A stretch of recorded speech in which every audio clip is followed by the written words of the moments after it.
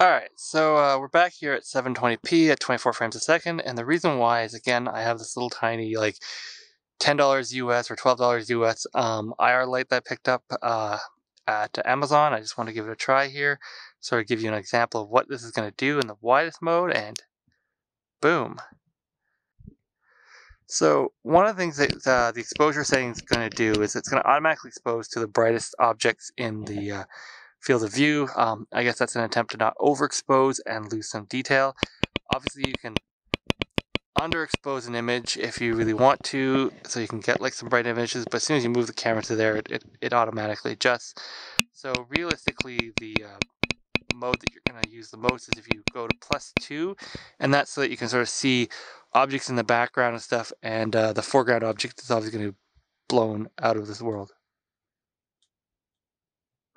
So, just a note on uh, using exposure control because there's no real true manual control in the uh, video mode, unlike the photography mode where you can actually change the shutter. Uh, and I guess it adjusts for the ISO, but uh, yeah.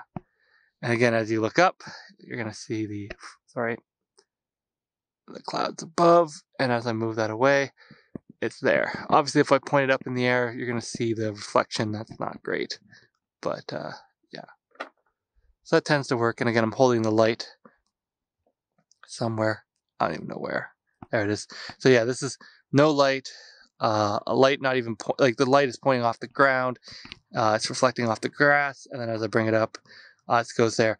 So uh, one of the things I want to do is actually mount this light on the side of the camera, and that way I get this nice sort of always looking field of view um, has the IR light in it for times when it's like really, really dark and I want to get that extra uh, ability.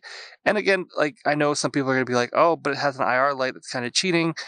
But here's the reality uh, unless you're actually playing against other people or you're trying to be super stealthy against other people who also have like night vision gear, uh, having an IR light like this uh, really helps you get a better picture. I'm going to take it for when I need it.